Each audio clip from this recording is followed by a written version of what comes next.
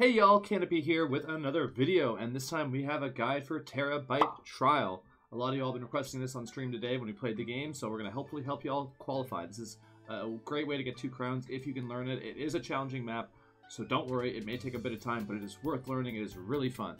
So here's what we're going to do. We're going to do one run where I kind of show you just how I do it and like my thought process, the best way to play it, and then we'll do another run where we try to take everything we learn and see how we can do. So let's get to it. Let's learn how to play Terrabyte Trials. Let's go. All right, this is Terrabyte Trial. This map relies on knowledge of coyote jumping, precision jumps and accuracy, and a lot of use of momentum, meaning a lot of sections you can't really stop. You have to just kind of keep going to make them work. Very important mechanic here. It's just jumping very late. You'll see that kind of cloud of smoke in a way or whatever. You can jump pretty much in the air. So in here you want to jump on the two inside, not the outsides with the slime, okay? So the two inside, then you jump dive here, I hope there's no other players, but yeah, so that's what you want to do. The pathway is from here to jump inside is the easiest. You can go where they're going, but it's harder.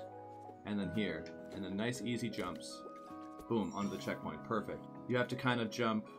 I'll try to explain it as I go, but these are a bit tricky. You need to have momentum here. You can't really stop. You cannot really stop anywhere. So you have to jump late, early, early, early. So you only the first jump's really coyote time, if that makes sense. The rest, you have to jump a little bit early and let the momentum of the conveyor um, carry you. Here, you want to make sure you're lined up perfectly straight. You need coyote time, you need to jump perfectly straight. And if you do it good, you shouldn't need to dive. You can dive to be safe if you're a little panicking, but sometimes dives can also mess you up.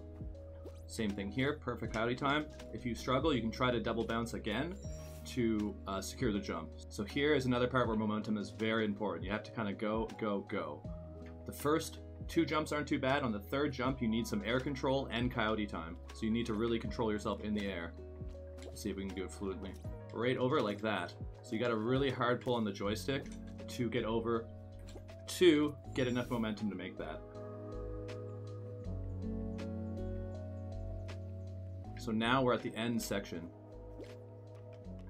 So here, coyote time. You can take your time a little bit. Uh, you can. If you need to hesitate, you can a little bit, but be careful. There, yeah, it's better to do it all in one, but you can kind of hesitate a little bit, but I wouldn't recommend it. So you can look back. There's probably no one in sight. If you do get someone that finishes the map quickly, it'll happen. It does happen, even for me.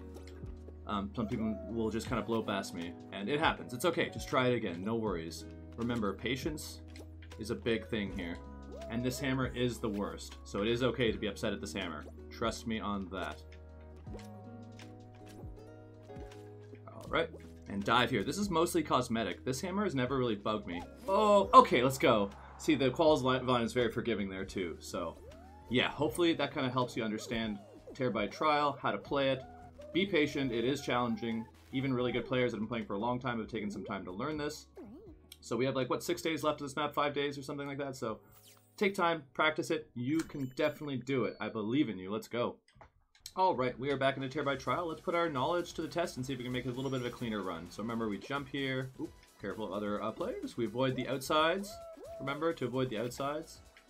And hopefully, don't make the same mistake. You gotta make sure you are on the edges. Really careful. And boom, boom. Okay, not too bad. Momentum very important here. We got a late jump, an early jump, early, early. Okay, perfect. We line up here, straight on, dive if we need to, straight on. Late jumps here, very late jumps. Let's go. Okay, try to make this in one go. Um, remember air control here, very important. Let's go. Going on to the next section. All right.